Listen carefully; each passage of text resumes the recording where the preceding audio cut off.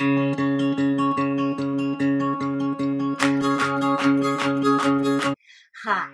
it's Mary Jo again from Mary Jo Hiney Designs Studio.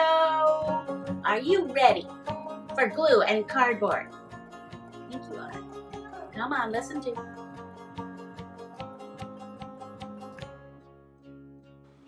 Let's start by talking about cardboard. I use two types of cardboard. The first is crescent board. It's about a 16th of an inch thick. It's sturdy and is something I can cut with my scissors or utility knife. And the other is railroad board, which is quite bendable.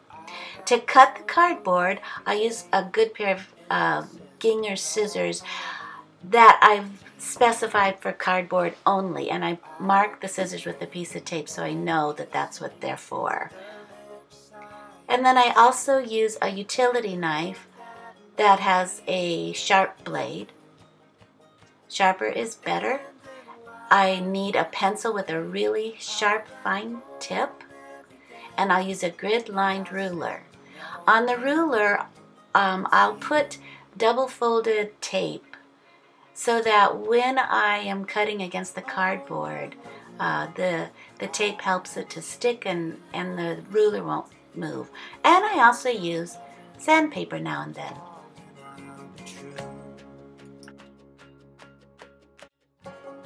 Here's my sturdy pattern and what you want to do is angle your your pencil inward while you trace. Trim away some of the excess cardboard because it will get in the way and it will cause me not to get as close or it will attack me while I'm working on trying to get rid of something else. So I just do that first and then we're going to start cutting. So I use a combination of techniques. I'll use the, the utility knife and I'll use the scissors and it a lot of it depends on the mood I'm in or how things are going. And I do use the scissors. I, I put my finger underneath um, and edge it up all the way to the edge of the line that has to be cut. And then I cut out and I, I move my finger as I go. Um, and that helps to keep the blade, it's kind of like a, a blade guard keeps uh, keeps the blade where I want it to be. The last thing I'll do is I'll go through and I'll do a little bit of sanding. As you can see, it doesn't have to be a very new or fresh piece of sandpaper.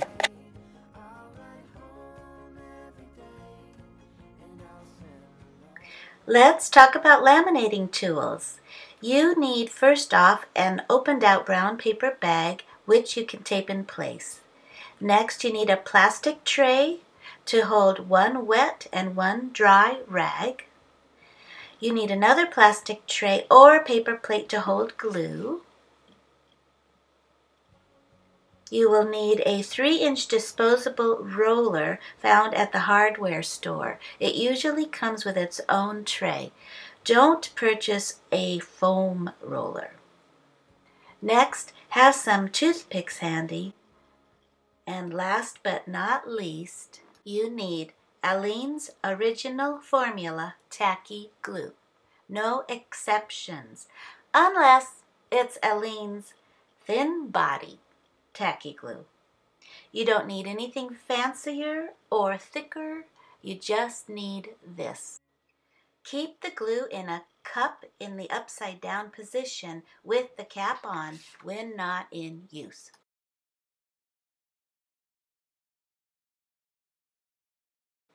Okay, let's get ready to laminate. Pour about a 2 inch dollop of glue into the upper portion of the glue tray.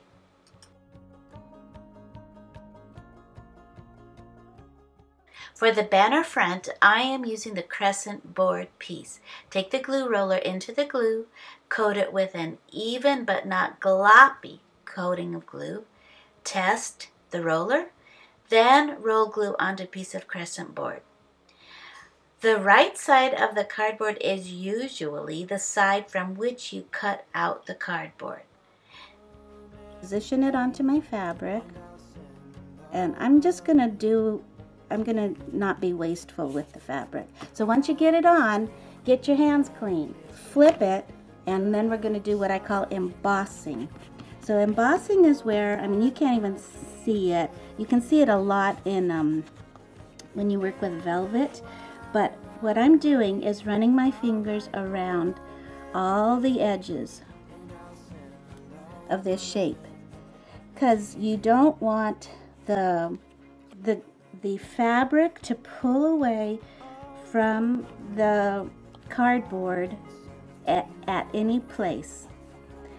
If that happens, the, the adherence won't be perfect and it'll get little dumb little bubbles in it.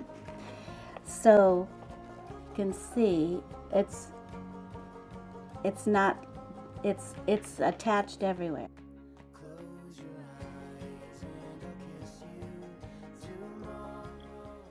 Trim the fabric away from the cardboard.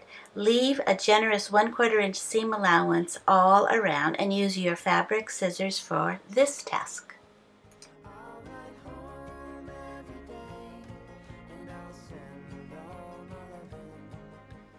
Trim the fabric away at the outer corners, clip the concave curves, and clip the inward corners.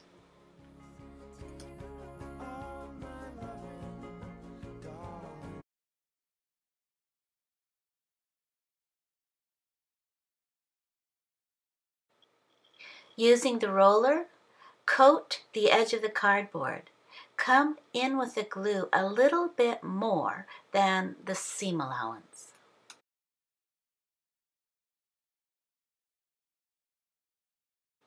Wrap the fabric seam allowance snugly from the back to the front and onto the glue.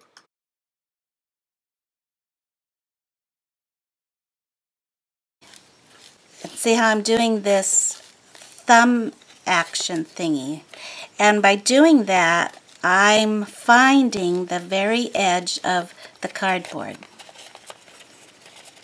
So then what I do is what is something that's called flip and flatten. So I turn it over on my work surface and I flatten the whole thing and then pick it up again. I'm going to check my work surface, make sure there's no glue on it. And what you want is to have a precise shape. okay, so let's finish it up.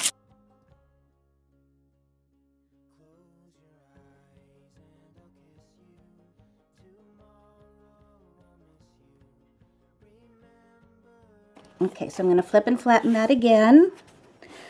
Always flip and flatten, always flip and flatten. You don't want any bulk created um, by the by the glue or by the fabric. So the last thing I'll do is what I call tapping.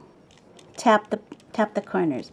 I mean, this look turned out really well, but some fabrics are not as reasonable as others. So eh, I'll tap the corner and then I'll just take my fingers and smooth any phrase out.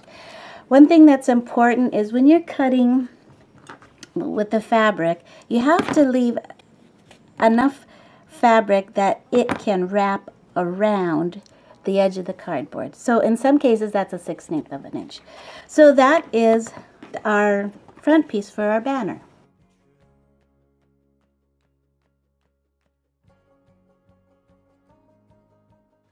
Now let's laminate the banner back cardboard piece using your banner back fabric. Use your fabric sparingly. The excess will be used to make the easel in the next lesson.